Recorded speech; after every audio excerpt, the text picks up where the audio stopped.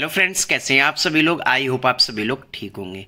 दोस्तों, आज की इस वीडियो में हम बात करेंगे कि आपकी जो डिग्री है, वो कंप्लीट हुई है या नहीं? यानी आपका जो ग्रेड कार्ड है, वो कंप्लीट हुआ है या नहीं? आपने प्रोग्राम इग्नू से कंप्लीट कर लिया है या नहीं? ये आप कैसे चेक करेंगे? तो दोस्तों, आइए बिना देरी करते हुए वीडियो को स्टार्ट करते हैं। तो अगर आपने first year, second year, third year सभी एग्ज़ाम दे दिए, आप पास भी हो गए, पर आपको चेक करना नहीं आता है कि आप अपने सारे सब्जेक्ट के मार्क्स कहाँ से देखे, असाइनमेंट के, थ्योरी के तो आपको सबसे पहले क्या करना है, आपको इग्नू की ऑफिशियल वेबसाइट पर आना है। यहाँ पर आपको रिज़ल्ट वाले ऑप्शन पे क्लिक करना है। देन इसके बाद आपको नीचे जाना है। यहाँ पर शो हो रहा है ग्रेड कार्ड आपको इसके ऊपर क्लिक करना है। इसके ऊपर क्लिक करेंगे, इसके बाद यहाँ पर आ रहा है ग्रेड कार्ड स्टेटस फोर इसके ऊपर आपको क्लिक करना है।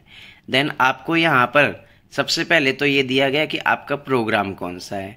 अगर आप इग्नू से B C A M C A M C A new M P M P V P G D C A इनमें से कोई भी प्रोग्राम है, आपका तो आपको फ़र्स्ट ऑप्शन पे क्लिक करना है। इसके बाद अगर आप इग्नू से कोई भी, अगर आपने 2019 से पहले इग्नू से कोई बैचलर डिग्री प्रोग्राम किया है तो आप यहाँ पर सेकंड ऑप्शन पे क्लिक करेंगे। अगर आपने इग्नू में किसी भी बैचलर डिग्री प्रोग्राम में 2019 के बाद एडमिशन लिया है तो आप सी प्रोग्राम में क्लिक करेंगे। इसके बाद अगर आपका कोई मास्टर डिग्री प्रोग्राम है तो आप यहाँ पर अदर प्रोग्राम पे क्लिक करेंगे। यहाँ पर जब आप अदर प्रोग्राम पे क्लिक करेंगे, इसके बाद आपको यहाँ पर प्रोग्राम कोड पे क्लिक करना है। आपका प्रोग्राम क्या है? बी एम ए जो भी प्रोग्राम है आपका तो यहाँ पर आपको प्रोग्राम पे क्लिक करना है। जैसे कि मैंने यहाँ पर प्रोग्राम सिलेक्ट किया, जो भी आपका प्रोग्राम है, वो प्रोग्राम आपको यहाँ पर सिलेक्ट करना है। तो यहाँ पर मैंने प्रोग्राम सिलेक्ट किया है। इसके बाद आपको यहाँ पर इनरोलमेंट नंबर फिल करना है। इनरोलमेंट नंबर फिल करने के बाद कुछ इस प्रकार से आपके सामने शो होगा।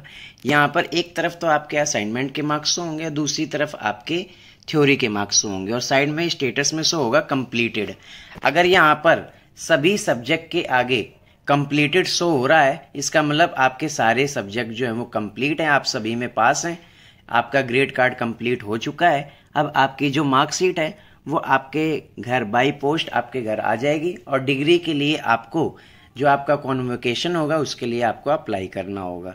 तो यहाँ पर आपको चेक करना है और अगर यहाँ पर नॉट कम्प्लीटेड आ रहा है तो यहाँ पर आपको चेक करना है कि आप असाइनमेंट अगर आपका रह गया है तो असाइनमेंट आपको दोबारा जमा करना पड़ेगा। और अगर आपका थ्योरी का पेपर रह गया है तो यहाँ पर आपको थ्योरी का जो एग्ज़ाम है, वो देना होगा। अब ये कैसे चेक करना है आपको?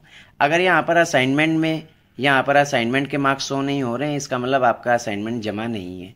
अगर आपने असाइनमेंट जमा किया है, पर यहाँ पर असाइनमेंट के मार्क्स नहीं आए तो आप रीजनल सेंटर को मेल करें या रीजनल सेंटर जाएँ। अगर नहीं जमा किया है तो आप असाइनमेंट बनाकर जमा करें।